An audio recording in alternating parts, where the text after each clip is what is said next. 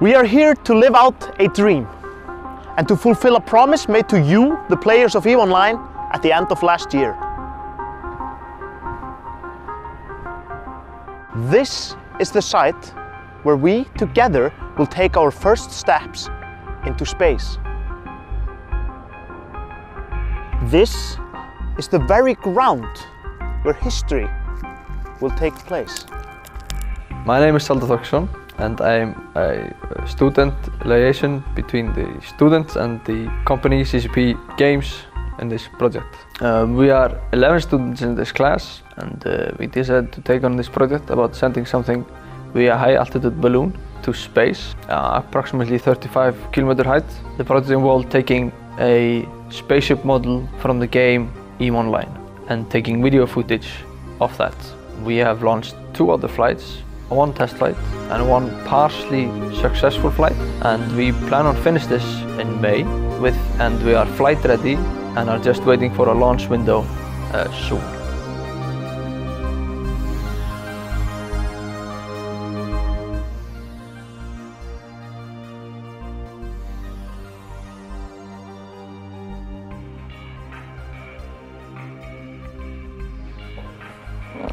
No, no, no, no, don't be afraid, it's just me. We are here with Tobbi, who you may know as the Dust Soldier from FanFest, but he also makes props for us. That is when he's not working on other smaller projects like uh, Game of Thrones or Tom Cruise's Oblivion. Hi, I'm Tobbi. I'm CCP's next door neighbor.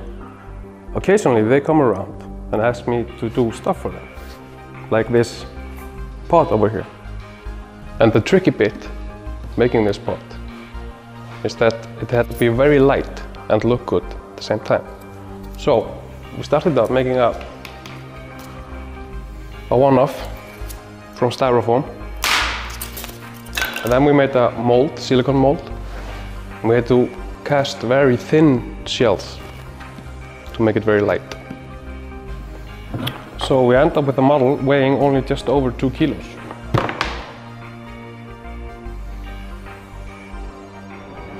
When we were first approached by CCP and asked to deliver a pod into space, we sat down and started thinking about what the main problems and hurdles were into getting it there. Our primary concern would be the weight of the craft and all the ancillary equipment of the payload, and also the cold that we would experience at this extreme altitude.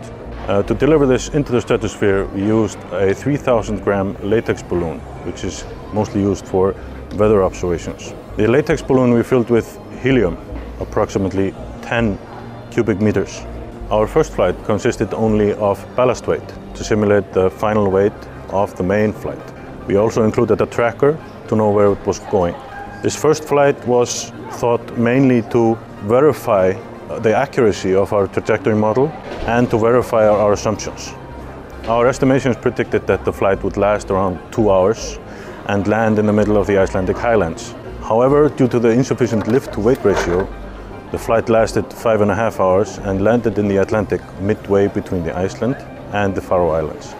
Our second flight was a full-scale launch. It included all the equipment that we had planned to use, which include three independent GPS trackers, three GoPro HD cameras to film the payload and the balloon during the flight, and a mobile phone for the live video feed during the flight. To fix the problem of insufficient lift-weight ratio, we simply added more gas. This time around, the actual flight trajectory was almost identical to the projected trajectory. After flying for roughly two hours, traveling to an altitude of 34 kilometers and a distance of over 160 kilometers, it landed just within one kilometer of the projected landing site.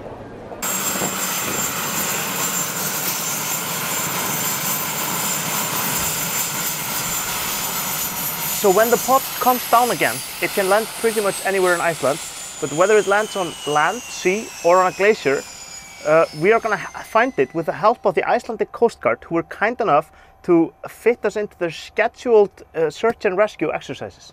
All we are waiting for now are the perfect weather conditions for the launch, which will be broadcast live here from CCP and all the way up to 100,000 feet.